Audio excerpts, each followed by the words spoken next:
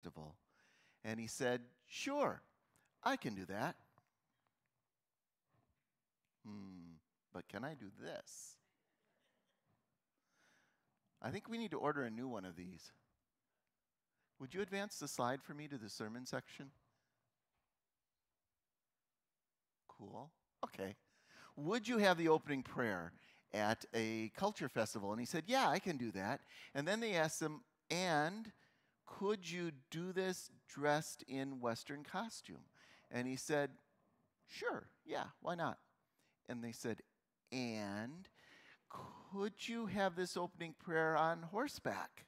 And he said, Okay, yeah, I can do that. And then they actually said, And could you have the opening prayer in a Native American loincloth? And uh, you can guess what he said. Go away. this is where I draw the line. I am not going to do that. It can be good to have boundaries, you know, where we know how far we're going to go and where we're not going to go. However, drawing the line can have more of a negative meaning when we talk about social boundaries and groups of other people because we all tend to have people that we think of as our people. But if we have our people, then there are others who are not part of our group. And that can be make a difficulty for the gospel really. It can be hard to talk to someone about Jesus or to say a hard word that needs to be said, or even to be an outgrowing Christian among folks who think maybe you don't accept them as much as you accept other kinds of people.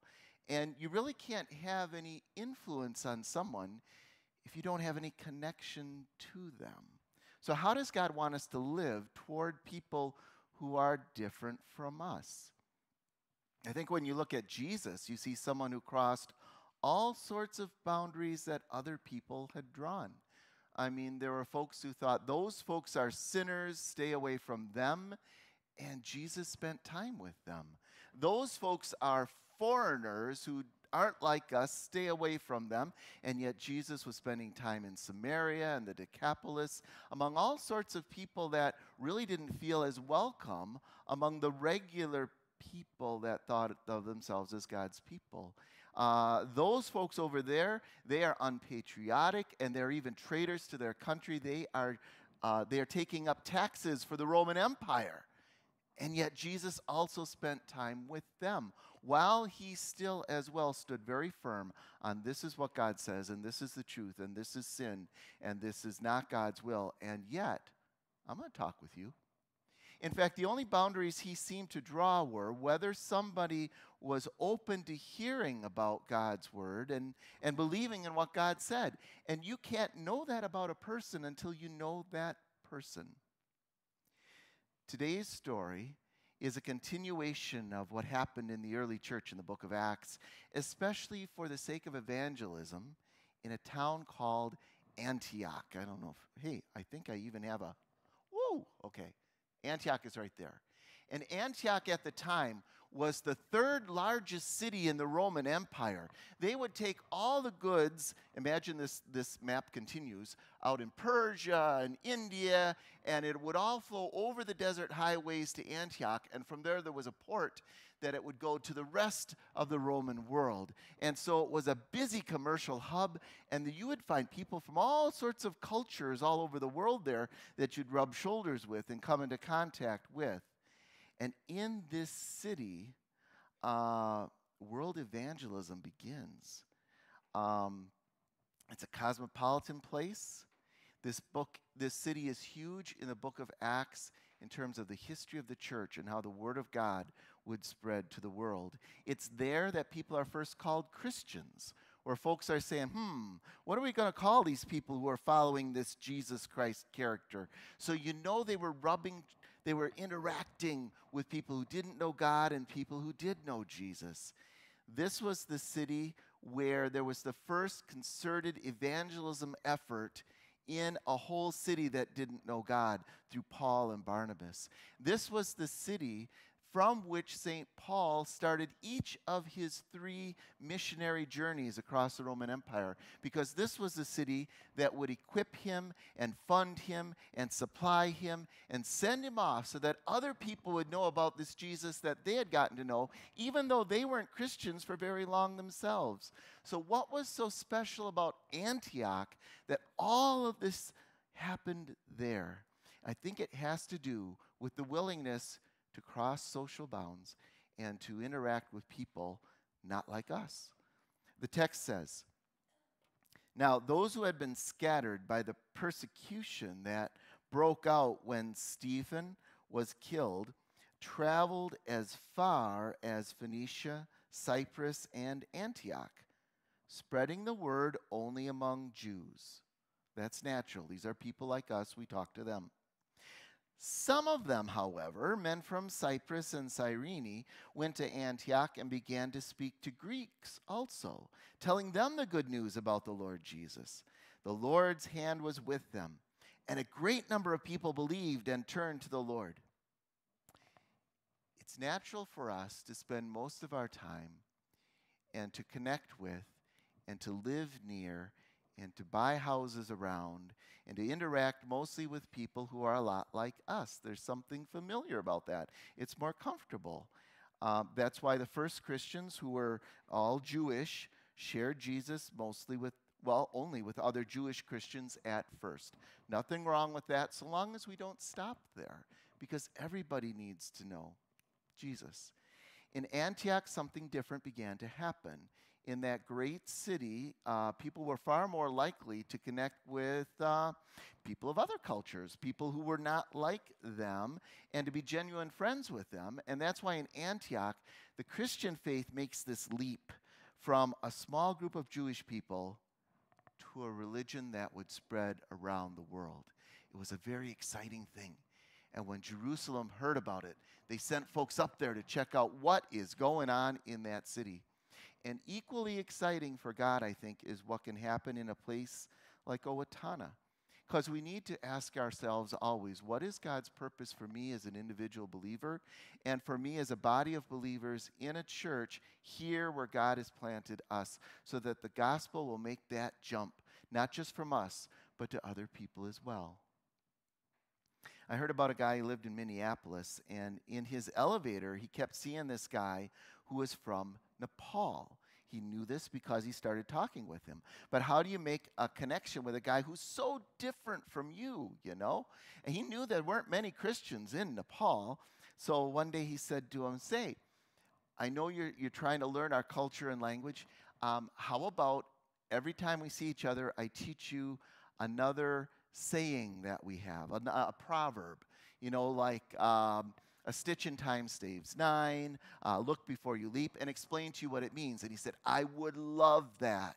And that started conversations with them on a regular basis, and, and it, it went in many different directions. And this guy could have just said, Well, I'm going to be friendly and nod every time I see him in the elevator. But instead, he thought, What's God's purpose for me here, where God has planted me in this world? In Antioch, God had opened several doors. God brought people to Antioch from Cyprus and Cyrene, which were of a different culture. And since Cyrene was in Africa, probably of a different ethnic group and race as well. And in this great multicultural city, they started to interact with others too. It was a great mix of people. And God is doing something, I think, in our city as well. If you start to think of the different kinds of people that you see here, that if you're a long term resident, maybe you, you didn't used to see so much. Um, and what is our role? What's God trying to do in our life? I read that in the school system in Owatonna, 5% of the students were born in another country, and 8% are, are struggling to learn English, at the same time as they're learning their subjects. How do you connect with people like that? Well, think what would it be like for you if you were one of only uh, a handful of a certain kind of group of people? How, how would you want people to interact with you? What would you want that to look like? A few years ago, Sarah was telling me about um, someone she, she met who was from Pakistan who came here to work in one of our industries. And she asked him how he was getting along here. And he said, You know what? I feel invisible. I feel like people just look past me and don't even see me when I'm around. How would you feel if that were you? Um, and, and, and, and other people were interacting, but they weren't really connecting with you. What would you want someone to do? I've read that of the international students in our country, 80% of them say they do not have one Christian friend. And 70% will not do something so simple as have a normal American meal in an American home, although they would dearly love to. Now, we don't have very many international college students in Owatonna, but we do have people that are different from us all around us. I've read that 14% of the international students in our school system are from Asia. And you know how many Asian countries are closed to mission work. If you can interact with someone, you might not just have an effect on them, but on people in other countries as well. There, there are nations closed to mission work in Asia and in the Middle East and in Africa. I've read that Somalia is the third most dangerous country for a Christian missionary in the world after North Korea and Afghanistan. But look how many people from that country are right around us here. If we want to learn something from Antioch, I think it is that world evangelism is something that happens both out there and also right here as well, because there are plenty of people around here that God wants to reach. And as I read this text of, of how it happened in that city, it largely depends on where folks draw the line in terms of who's in my group or who I'm going to interact with. And this difference can even be among people who are like us that we just don't know. I mean, imagine that someone walks into the church for the first time here and they see lots of people. Maybe they're laughing, maybe they're just talking. you can tell they're glad to see each other, but you know they don't join there because they don't know anybody, and it can ha- we can feel like quite a friendly place, and maybe they have a different feeling because it's not quite the same for them. How do you interact with that person? The thing that surprises me, I think, most when I first read this text was that this great work of God didn't happen in Jerusalem. It happened in a place called Antioch, which is the first time that city I think is ever mentioned in the Bible. Uh, it's not part of the Old Testament, you know, it's, it's this kind of a new place. And, and Jerusalem seemed to have all the advantages. I mean, the apostles were in Jerusalem. The eyewitnesses who had seen Jesus rise from the dead, you know, they, they, they, that had all happened in Jerusalem. But this didn't happen in Jerusalem. No, it happened up in a, in a place where God was doing a new thing. Um, and it was a wonderful thing.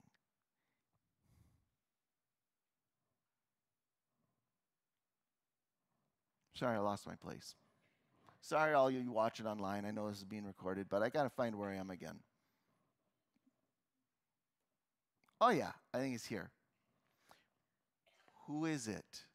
I mean, God does a new thing in every congregation and in every place. How does He want us to be more like Antioch? So, as soon as the church in Jerusalem heard about this interesting that was happening up there, they sent Barnabas, who grabbed Paul, and they went to check it out. Now, Barnabas, it says, he was a good man, full of the Holy Spirit and faith.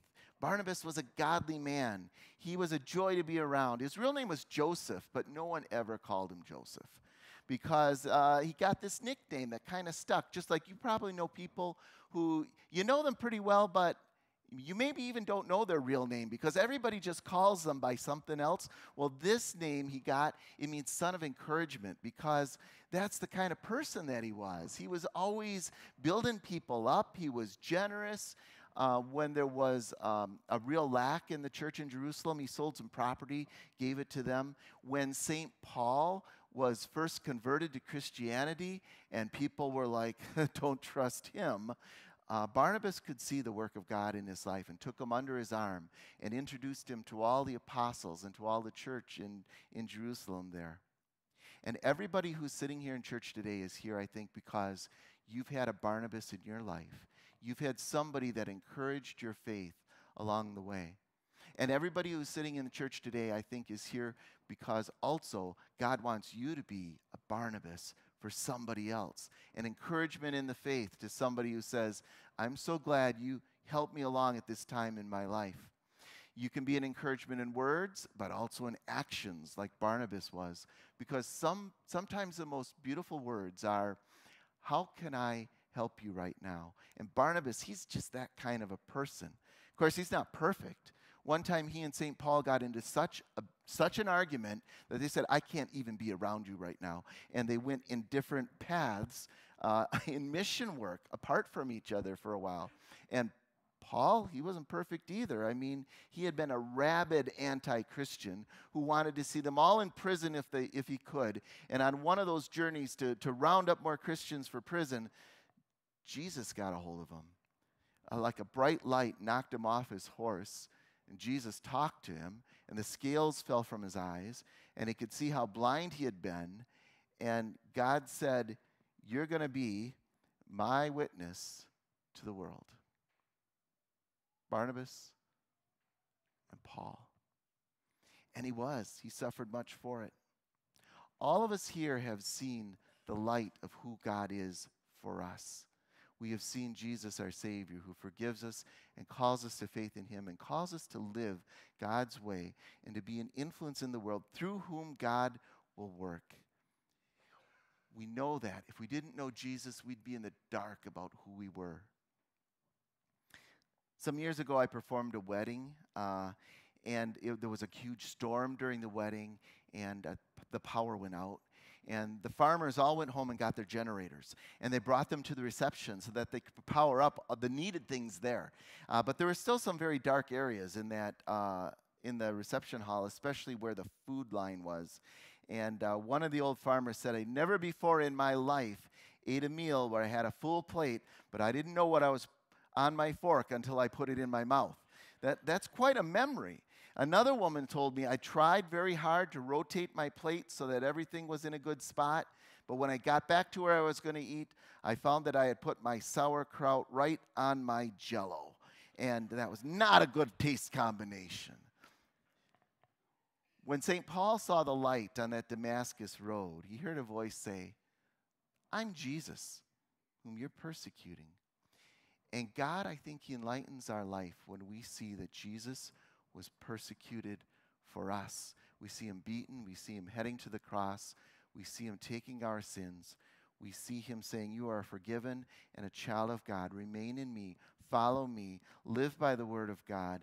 And I have something in mind for you. Then the scales fall from our eyes, and we see what our life was meant to be here for. St. Paul didn't say, I messed up so bad God could never use me. He heard the words instead that you heard from this lectern just a moment ago, where Jesus said, I have appointed you to go and bear fruit, fruit that will last. God appointed you. That means, like before you were born, He had something in mind that He was going to accomplish through you. And Barnabas, Barnabas didn't say, Well, I'm uneducated. I'm, I'm not that gifted. I'm not that, uh, there's nothing special about me. He heard the words that you heard from that lectern where Jesus said, Love one another as I have loved you. And he said, Well, I can do that after all that Jesus did for me. And he got so good at it that that's what he became known for a son of encouragement. Today, we're called to be that sort of person in this world, a son of encouragement. And as happened in Antioch, to expand the family of God to all kinds of people that God wants to reach. Amen.